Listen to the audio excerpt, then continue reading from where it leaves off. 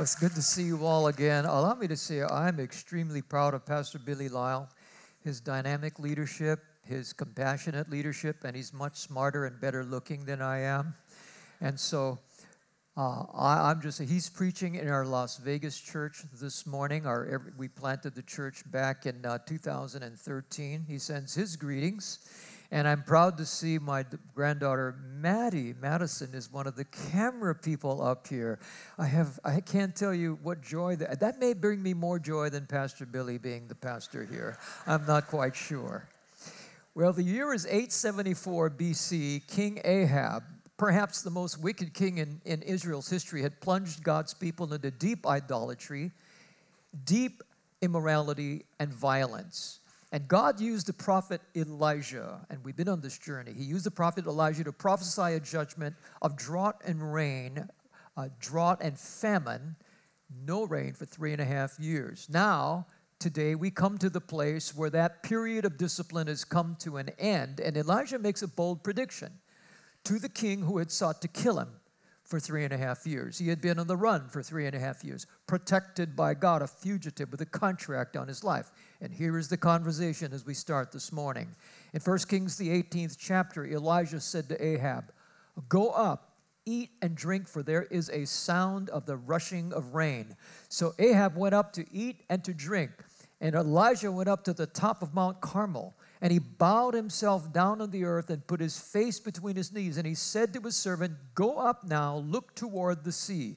And he went up and looked and said, There is nothing. And he said, Go again, seven times. And at the seventh time, he said, Behold, a little cloud like a man's hand is rising from the sea. And he said, Go up and say to Ahab, Prepare your chariot and go down, lest the rain stop you. And in a little while the heavens grew black with clouds and wind, and there was a great rain. And Ahab rode and went to Jezreel. And the hand of the Lord was on Elijah, and he gathered up his garment and ran before Ahab to the entrance of Jezreel. Abraham's momentary desire for sustenance delays his, di- his desire for revenge.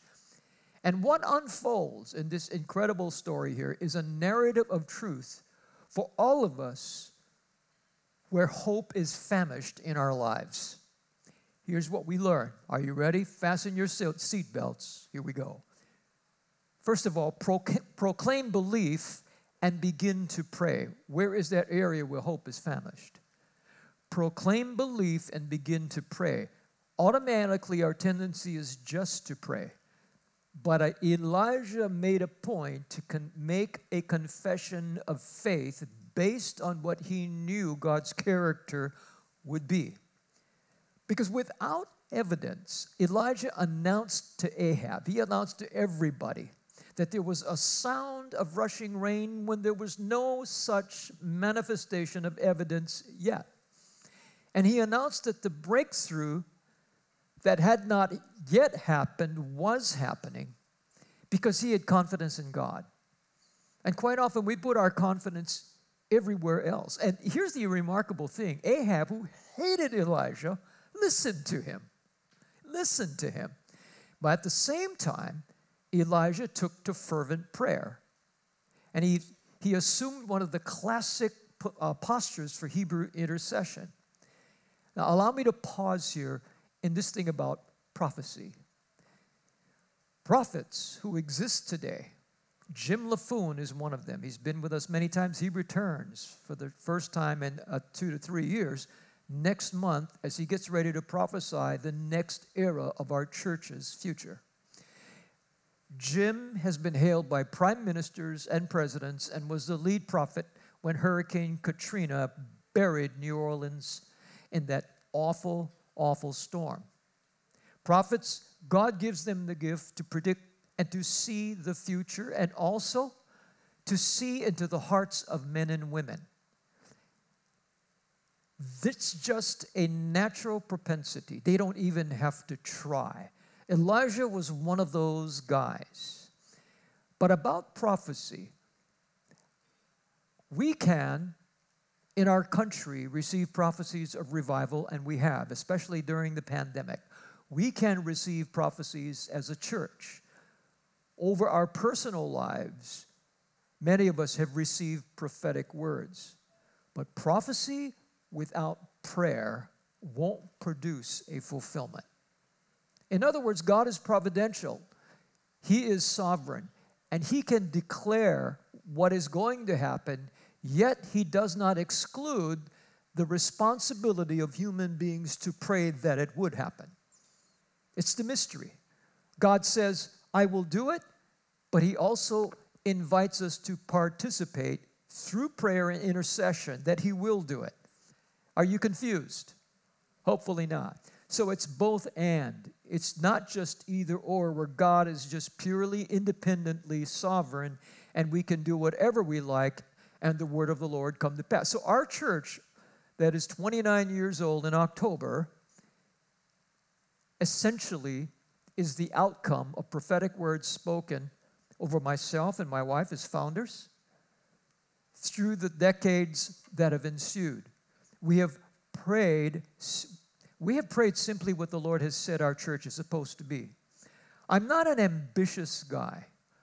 Okay, I didn't set goals up strategically like a businessman to say, these are the targets we are going to hit. All I did was I saw the prophetic destiny proclaimed by the prophets of God, and I said, Lord, if that's who we're supposed to be, then that is what I'm going to pray we become.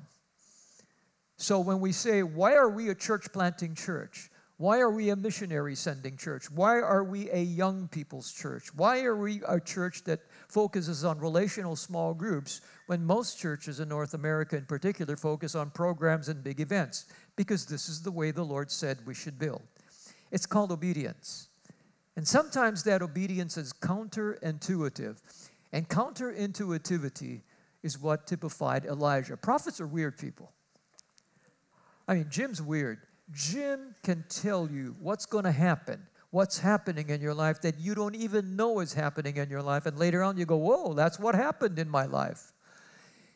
But once he leaves this building, he doesn't know where Starbucks is, he can't find his car, and we need to walk him into the restaurant. You see what I'm saying? The gift operates only in certain uh, contexts and realms. Well, he's going to be, be with us next month, and I can't wait because this is going to be a dynamic coming out party for a new generation under Pastor Billy, under Pastor Paris, and uh, our young congregational leaders. But here's the pause Elijah prays even though he has already predicted what God has said would happen. And for those of you who've received prophetic words, put your face between your knees, so to speak, bow, and intercede. Because it could be that perhaps the road to your destiny has been stuck because God is saying, I've already proclaimed it, I've already predicted it, but you need to pray it. The first drops of revival are falling. It started when Damar Hamlin turned the Bengal Stadium into a prayer meeting. And raindrops continue to fall and we need to continue to pray in a country deeply challenged that God would move with another great awakening. So, knowing this is how God works, Elijah bears down then, secondly, to practice perseverance. Verse 43 He said to his servant, Go up now, look toward the sea. And he went up and looked and said, There's nothing. And he said, Go again seven times. So Elijah told his servant to look for evidence because he had expectation. He had hope. And having expectation is tied to having hope, and hope eventually morphs into a living, active faith. Hope and faith in Scripture is similar, but it's different. Hope is something in the future. Hope is something you aspire to that's a bit far away. We all have a living hope that Jesus will return to the earth again, the second coming of Christ. We also believe that, but it's more of a hope because it's way out there. But they say that the oxygen of life when you're challenged and your back is against the wall is hope. Hope that things can change, hope that things will change. And during the pandemic, lots of people lost hope.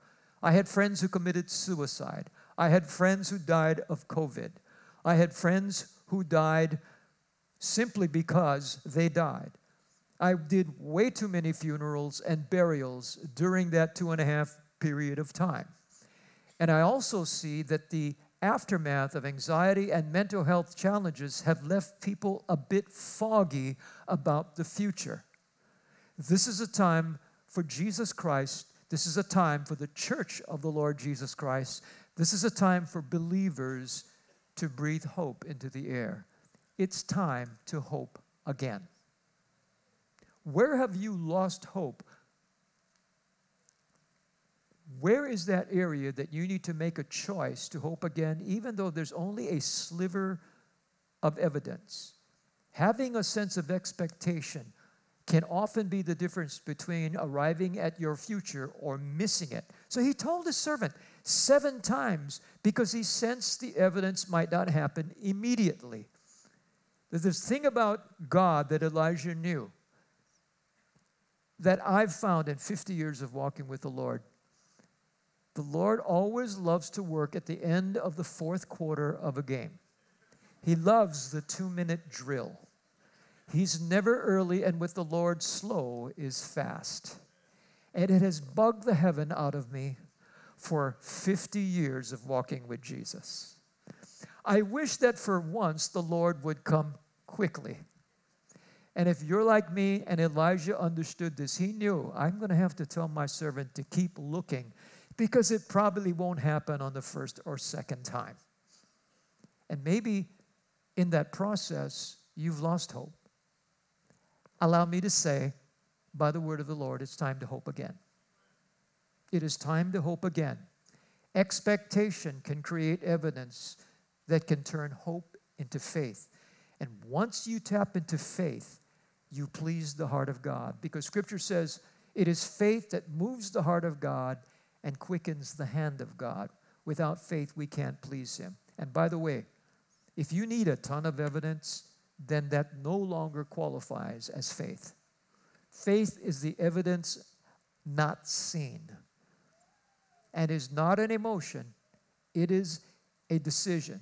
So here's what Elijah does, okay? He proclaims belief, he begins to pray, he practices perseverance, and then, as we close today, he applies faith to small beginnings. This is huge. This is a major takeaway to take into our relational small groups this week. At the seventh time, he said, Behold, a little cloud like a man's hand is rising from the sea. And he said, Go up, say to Ahab, Prepare your chariot and go down, lest the rain stop you. And in a little while, the heavens grew black with clouds and wind, and there was a great rain.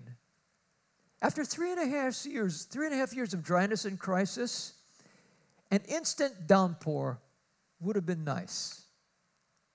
No, it was just a tiny little cloud on the horizon. Sometimes that's all God gives us at first. Every time I read this, I go, man, three and a half years, no rain, bad food, scrounging around. After three and a half years, if I were God, I would let it storm. But I'm not God. It's a little cloud. Sometimes, some of you, that's all you have. And the Lord waits to see what you'll do with that little cloud, that tiny bit of effervescence, the small. Here's what Elijah did he just applied faith. He says, That's it, that's all I need. God is going to move, He's already moving. Everybody, get ready, get into position.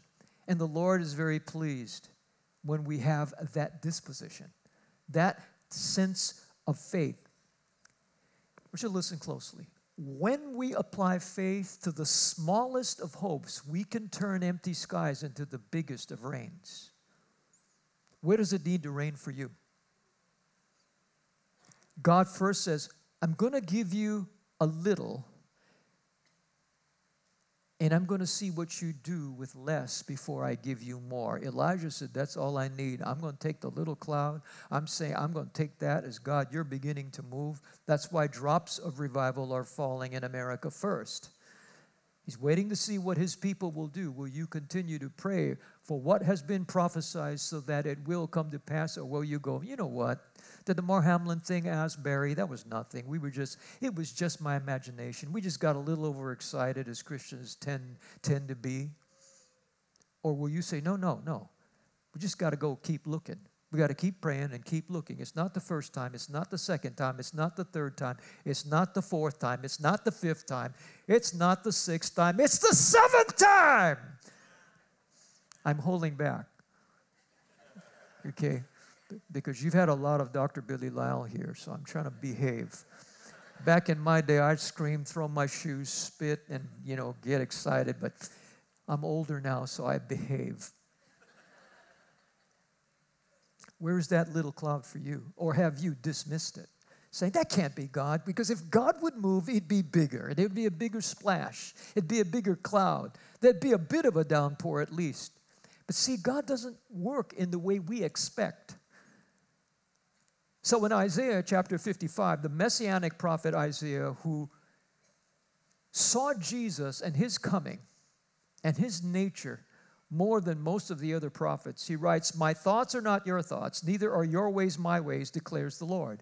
For as the heavens are higher than the earth, so are my ways higher than your ways, and my thoughts than your thoughts. For as the rain and the snow come down from heaven and do not return there, but water the earth, making it bring forth and sprout, giving seed to the sower and bread to the eater, so shall my word be that goes out from my mouth. It shall not return to me empty but it shall accomplish that which I purpose and shall succeed in the thing for which I sent it.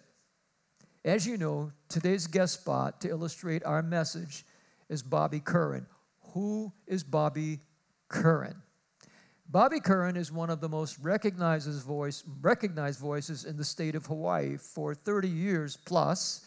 He's been the official radio voice for the University of Hawaii football and basketball program, and he's dabbled in other things.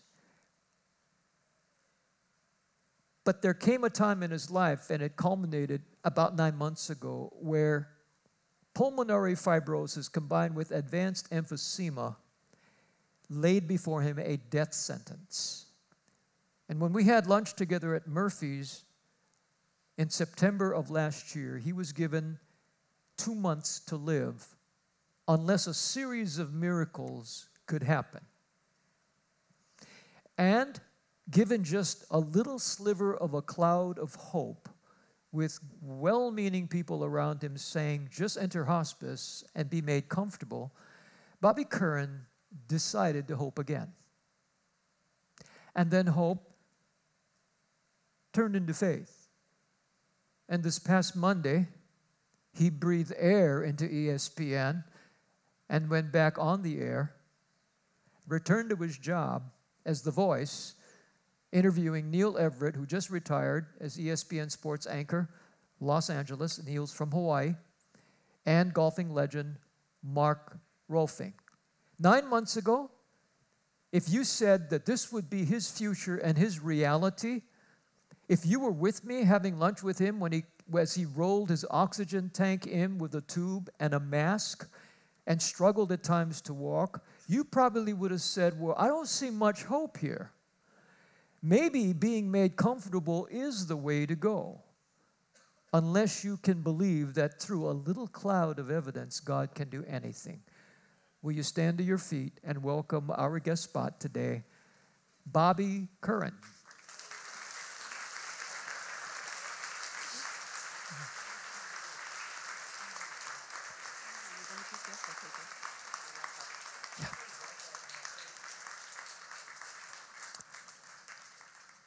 And I might add, one of the rare honors for Bobby is he was inducted into University of Hawaii Circle of Honor. All right, and that's essentially the Sports Hall of Fame here, and it's an incredible, incredible honor. So it's an honor to have you, my brother. All six feet two of you. I don't know why a lot of you athletic guys like Coach June, I, I, every, I'm just, my face gets crushed into your breast every time I hug you. And I thought, it's the first time I've said that in church. Okay, so you may be seeing too much information, too much information, too much information. Um, I, um, I, I- just think back, Bobby, to when we had that lunch at Murphy's. And uh, uh, is Bobby on? Let's just, just try to turn him on. Bobby, try, give us some of that UH touchdown stuff. Yeah, make it up. Yeah. Fall, fall camp just opened. I'm wearing this shirt in honor of you and our warriors who just opened camp. Okay, let's do this. Is this is the switch on? I believe it is. Okay.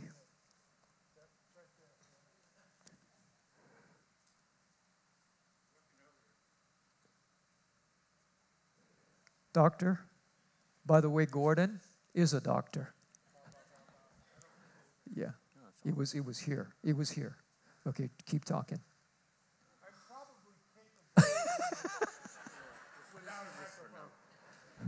Bobby, I'm so sorry. You're used to the headset, which is how you announce games. We have to go back to All that. right. Technical difficulties. All right. I'm used to those. Yeah. Um, I, I- just, I just, I just look back at your journey. So many things had to happen right. But what did happen right first was your family. So we have a picture of them. Maybe you can explain them to us. It's tough to explain, actually. But uh, that's me on the left, obviously. And then uh, my son, my youngest, is Finn, and he just graduated from MidPac. And he's now with his mother in Scotland. They're going to be coming home very shortly, but they've been looking at universities. And because he, when he went there to high school to St. Leonard's for one semester, he got a British passport. And so he can get, they have a much more sensible approach to university tuition than we do. So that's a possibility for him. And next to him is my son Max, who has, is now at the University of Hawaii, also a MidPac graduate, and my long-suffering wife, Jo, is on the right. She is uh, amazing. No, she is an amazing woman. Um, I mean, hospice, a hospice nurse. Um, she's also in commercial real estate. Um, she's been on the radio with you uh, in the And by past. herself. And by herself. She's now doing the videos for the Chamber of Commerce, in addition Wow. to her Wow. commercial real estate responsibilities. So. Th- This is. Superwoman. There's nothing she can't do. And the dining out section in the Sunday paper. Right. I mean, you know, that is her. And so a number, a number of things. So Bobby, you're a well-kept man. Well, I am that and grateful for it. Um, when you survived what has been an ordeal that took so many things to have to happen for that to happen, we had a celebration moment. And uh, we can show the picture of this breakfast here as the evidence. So here we are, we're seated here. This is at the Kahala.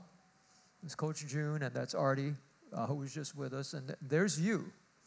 When you ordered the corned beef hash with the egg,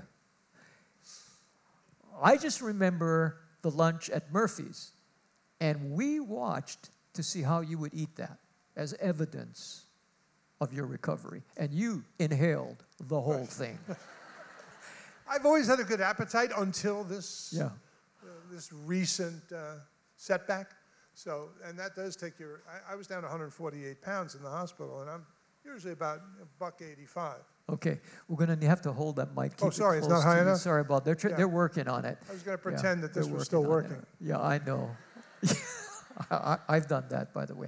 Um, and then you walked up those two flights of stairs. I remember I asked you, uh, Bobby, do you want to take the ele- we have an elevator here, and you said, no, no, I'll walk up the stairs. And I thought, I better come behind this guy, which is not too much hope if you can see how diminutive I am. Then we'll both be in the hospital. There you go. But anyway, and I was amazed that you just went straight up two Yeah. flights of stairs, no problem at all. I said, Bobby is back. But lots of miracles had to happen Right. I would say there were some were miracles, some were semi miracles. I Yeah. mean, we went the whole gamut when I was in Phoenix I mean, at St. Joe's so Hospital. there was a litany of them. Talk to us about the miracles that had to happen for Well, you to I. I, first of all, you go there and you have to get evaluated. So they're looking to see. I think part of what they're looking to do is see if you can pay for it, but they also are looking to see if, and you need insurance. Without it, it would never happen. I mean, it's crazy. this but is this is over a million dollars. This yeah, a million and a quarter is the rough estimate.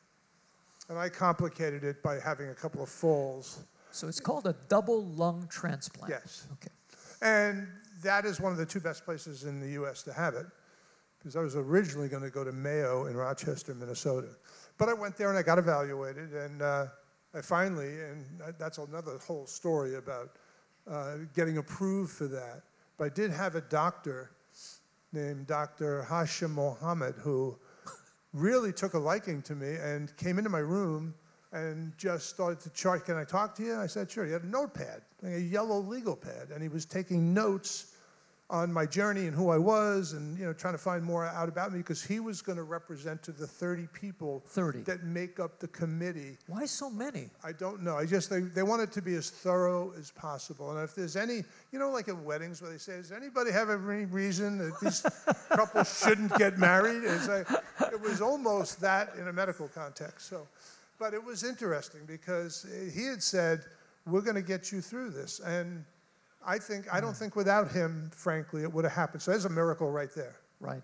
I mean, this guy from you know India, who, who hadn't met me but twice before, has decided now to represent and advocate for me to be accepted as a candidate, and that that's a miracle. That's right, Right. at the outset. That's Right. a miracle. Right. You know, we were praying for you. Obviously, your small group leader is here, Bobby Ichikawa, is somewhere today, and we, he'll, he'll, he has a guest you'll meet at the end. Uh, number of groups were praying for you fervently, regularly. Individuals were praying for you. Um, normally, they don't approve, and this is what I've heard, people our age, Bobby, for this procedure. But God came through for you, Yeah. Well, St. Joe's actually has a slightly different philosophy on it than some. faith based. And Okay. well, they often, so you're right. You know, St. Joe's is, is a Catholic. It's the auspices were Catholic, and they still have a lot of clergy even around there. So you do get a different kind of, I think, committed medical person there. That goes to doctors, nurses, all the whole staff right down the line. Now, that's interesting. How long did they give you without the lung transplant? Well, in October, they told me one of the doctors said, I asked how long I'd last without the, the surgery, and she said "Mm, maybe Christmas. So that was three months. So they just pretty much told you you had three months and you could die around Christmas. That's very hope giving. Well, Yeah. yeah, I mean, but then they, they held out the possibility that if you're approved for this surgery, you may live 15 years. Okay. That sounded way better than Christmas. Yeah, and you know, and I remember you you literally grabbed onto that. Um, talk to us because there were loving people who, based on good science, we're saying, phone it in. You know, I'll Yeah. make you comfortable. Talk to us about that because that was a bit of a surprise to me. Well, my wife's a hospice nurse, and she just said, you know, she goes, you know, you're not, you don't have a high threshold for pain. She told you that? Yes, she knows it. I mean, who knows me better than she does? So, and that's she's right. She absolutely is right. But I said, well, this is sort of an important one where I just I got to step up, and I'm going to get some help, mm-hmm. And it's celestial help, and I needed that, and I recognized, and I had several, especially in the night of the surgery. Uh, it was supposed to happen at like nine o'clock at night, and they had trouble with the logistics of getting the lungs to the hospital. And they never described exactly what it was. And they, then they came in and said, "Oh, we just noticed." The anesthesiologist said, "We, we're not going to be able to give you an epidural because you're on heparin. It's contraindicated." Okay, let's let's pause right there, Bobby. Lungs, lungs. So you, they said you without lungs, you're going to pass in three months. Right. So they had to find lungs, and it's not like generic lungs. They got to Um, fit. So talk to us about how fit. What, what do Well, you mean? we have a pleural cavity inside, and, and the lungs have got to be a good match on size. That's an important thing. okay. And then they have to take a look at lungs, at the lungs, and they're looking totally on tape because they don't have a chance until they get there because they come from all over the place. And I, I still don't know where they came from. But I'm grateful to the donor, but I don't know who he, I assume it was a him because I have a pretty fairly reasonable sized pleural cavity. Be unusual in a woman, not impossible, but unusual. And uh, he said, We're not going to be able to give you the epidural. I said, Well, how come? It's contraindicated from, you know, that the heparin is contraindicated. So, and the other doctor looks at the guy, he goes, You're going to do this surgery without an epidural? So, okay. I, and he looked at me like, and he says, Wow, you must be tough. I said, No, what, wrong guy. wrong guy, not, not that tough. Yeah. Your unique condition made it, you just, you couldn't take the epidural. So here you were headed for a world of pain. How was it? It was painful. I mean, I, You ask a dumb You know- question, you get the right answer. Well, I laughed because I w- after that, and I was talking to a couple of the UH doctors yesterday at practice, and one of them said the dumbest thing he's ever heard is when they ask people, "What's your pain level?" One at the lowest and ten at the highest, and it it is because it's a self-evaluation, right? So, you know, I, I, but that night I said, "This, I need." I needed God in the worst way because this was beyond anything I'd ever experienced in terms of pain. And so I, said- I just recognized him. And we had had a previous, I was here once before, and it was on surrendering. And I said, Time. It's time right now. Wow. Turning it over. Wow. Because I can't do this by myself. yeah.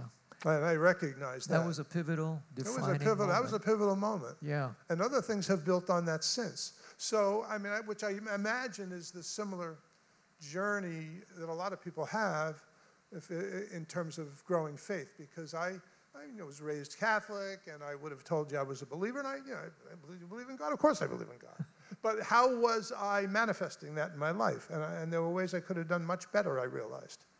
And then I realized I wasn't going to be left alone. I was going to get help getting better. Talk to, now, what were the, we don't know it's male or female, but these were not, you had to exercise faith again because these lungs were not pristinely perfect. actually the lungs themselves were perfect, but the history of the donor. Okay, what do you mean by that? Well, he they came to you and said, listen, full disclosure, he's got Hep C. And he said, but that's really not a problem. I would encourage you. The doctor said, would you take these lungs? And he said, absolutely. He said, we give you one pill a day for 12 weeks and that's gone. Hep C is completely eradicable. So that's good. He says, second thing, we have to inform you that he's been in jail for at least 72 hours. It could be five years. We don't know. It's, we know it's 72 hours. That's a legal requirement. We have to tell So you. lungs with Hep C and lungs that have been in jail. Right. Yes. So he's. They, so they had any problems with that? I'm like, again, I looked at the doctor because I recognized he was really supportive. He goes, take him, and I took him. Wow. And he said, as far as on tape, what we can see, they're as good a pair of lungs as anyone will ever get. And they got there, and he came in just to tell me they're as good as they looked. All those things, Had to happen, beginning with the approval of 30 people, lined up within a finite period of time. Yep.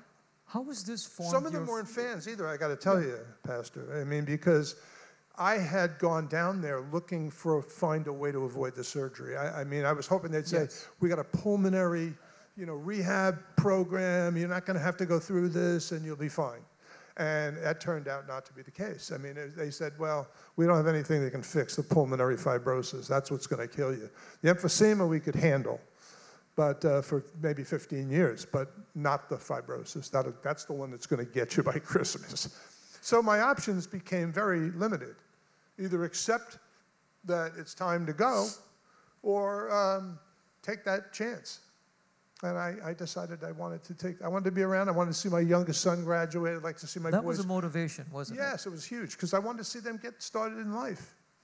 And I, I got to kid children late in life, and so you know, I wanted to be around to help them on their way and wish them good, good speed.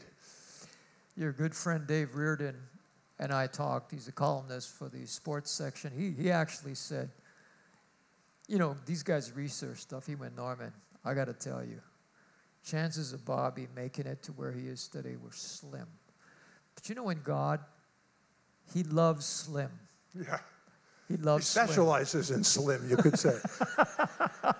Um, Bobby, how has this shaped your belief in God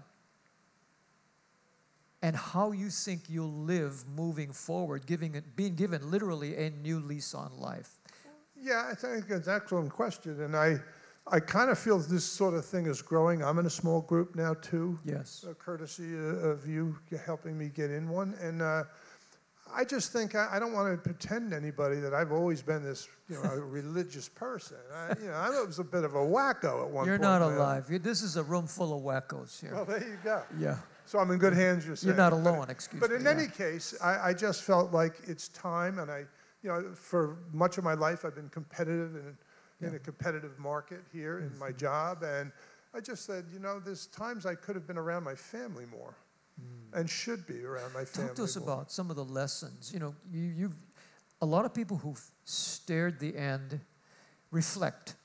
What are some of the things you've learned in this miraculous journey? Well, I'm going to tell you, I never got to the point where I said, well, this is probably over in a couple days. Or I, I mean, I never really bought Ah, into that. I kind yeah. of said, listen, there's other people who have done this. And there was a Honolulu attorney who had been through this, and he was now four years clear. Uh, Bob Kestner, and he was unbelievably helpful and giving answering questions. And I Yeah. just thought, you know, if he can do this, I can do it. I mean, that was sort of the deal. Great. And I said, but I'm going to have, I got a secret weapon here. I got Pastor Norm and a whole bunch of faith warriors, and I could feel that. And I, part of the reason I'm here is to, I asked him if I could come because I wanted to thank everybody here. No, Because on Sunday nights I could feel it there. I really could. that's huge. you know, Bobby Curran is the only person in my whole ministry career that asked to be a guest spot.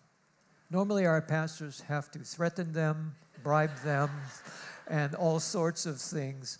And Bobby, grateful to God, grateful to you because you were part of this journey. Parting shot. And what it, your, your parting shot on your learnings and a parting shot on wisdom to all of us who are facing back against the wall situations. Everybody's challenges are different. I, the one I can address is the medical one because I saw people in that hospital at St. Joe's in Phoenix that had basically given up.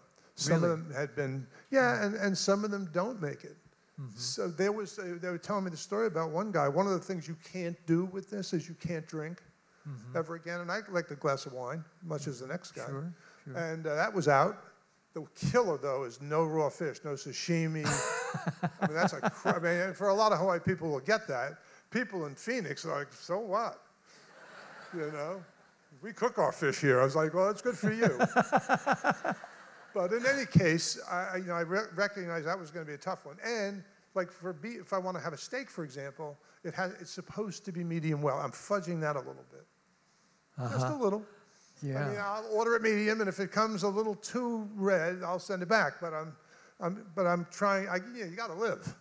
My take, on, my take on that one. So anyway, you know, I'm doing everything. I'm basically doing what I'm told to do. How do. does it feel to be back on the air again? Oh, and it's unbelievable. And I'm, you know, there were times when I was in Phoenix, I wasn't sure that was happening. It took a while for your voice to come. You're on feeding tubes.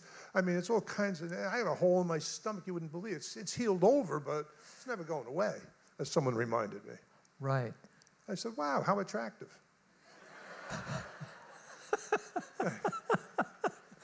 so in any case, I've gotten stronger. I, but I mean, I had trouble getting like up the stairs when it was dark at the first service. Sure. I had to really hold on. Now, if it's light, I'm fine, and that wasn't the case. I took a couple of headers when I was in Phoenix. One of them, in first of all, in Arizona, people who have been there know this. They don't have lawns; they have like little rocks.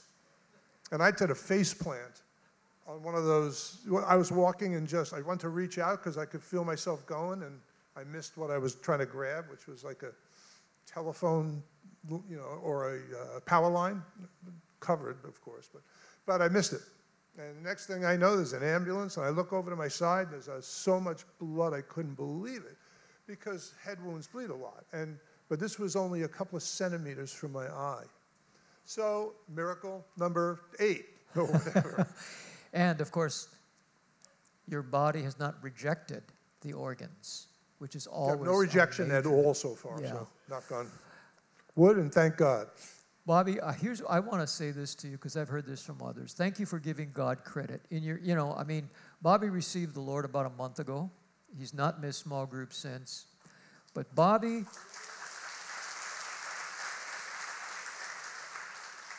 Bobby's small group leader name is Bobby. And they're here. The Bobby Ichikawa is here someplace in the hall today. He's brought people um, that, that uh, need to hear this.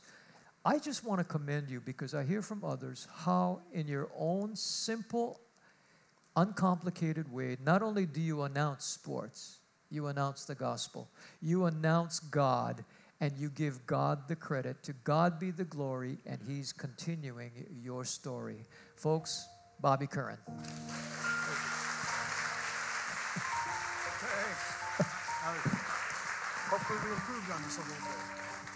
You know, uh, whenever I think now about things where hope is small and I don't have a ton of evidence to believe, all I have to do is reference Bobby Curran because what we've spared you is a lot of the details. It's a book, it's really a book. And uh, it's almost like then there's Joe coming in here and giving her reflections on being married to the man, but that's for another time, okay? That's for another time. In the distant future. In the distant future. Okay. All right. Well, folks, you know, when you think about the nation of Israel, when you think about the wonderful Jewish people, most of them, because they expected a Savior, a Messiah who would be a conquering figure and not a suffering servant who went to the cross, they're still waiting for the Messiah to come sometimes our expectations are blown apart, and with that, hope and our propensity to believe. Remember, and Bobby could preach this better God always works in ways that we don't expect. And if we can just trust Him, if we can let go of our preconceived notions, if we can have trust Him, and like Elijah and Bobby, and all of you who prayed for Bobby, if we can just Say, Lord, I'm calling upon you. I'm going to trust you. I'm going to be ready to receive from you. And I'm willing to surrender to you. God will do amazing things. Our pain is usually God's signal to surrender. At his most intense pain point, surgery without an epidural, Bobby came to a place where he gripped the cloak of Jesus. And since then, his life has changed. Will you bow your heads with me? Father, we are a collection. Bobby said, wackos. You, your word would say sinners. If we've received you and we know you, we have you in our hearts as our Savior, your word says our identity is changed to saints. We're not perfect, but we're saints and sons and daughters of the Most High God. But for those that are here this morning who have never surrendered to you as Lord and Savior, Father, I want to give them an opportunity an opportunity to say yes to you in the face of a famished hope. Scripture says to those of you who don't yet have a relationship with Jesus as your personal Lord and Savior, Scripture says if we will believe in Him, if we believe in Him that He is God's Son who went to the cross and died for our sins, if we receive Him in our hearts by faith as our personal Lord and Savior, then we have eternal life. We are born again in our spirit and secured a place in heaven. But not only that, the Lord then promises to work in our life on earth to, to form and fulfill the purpose for which, for which we were made. Eternal life begins on this earth, not just in heaven. Bobby Curran has begun that journey of taking his influence and his voice and giving God glory. That's going to be his story moving forward. But guess what? It's all of our story. And if that's you, you say, Lord, I want the gospel story to be my story. I want heaven to be in my future. I want my destiny on this earth to be fulfilled. Then pray this prayer with me as I pray it out loud. And if you've never prayed this prayer and surrendered to Christ before, pray this prayer in your heart. The rest of us who are already Christians and committed believers, will you pray this prayer line by line out loud with me as first timers pray it in their heart? Let's pray. Dear Lord, I believe you are the Son of God. I believe you died for my sins and paid the price for them all. I receive your cleansing and forgiveness. Lord, come into my heart. Take over my life. I surrender to you as my Lord and my Savior. In Jesus' name, amen. With every head bowed, Scripture talks about making that confession public. I'm your witness. I'm your witness. Pastor Paris is your witness. If you prayed that prayer, would you lift your hand up high just for a second and put it down? Wonderful. Okay. All right. Number of people throughout the congregation. And I want to say this you've taken an incredible first step to the journey of a lifetime. Tell the person who invited you, I prayed that prayer. And then you'll hear from our host about your next step so your faith can grow. But Father, I pray for the rest of us. I pray, Lord, that you would pour kerosene on smoldering embers of hope that seem so small in areas where our backs have been against a wall.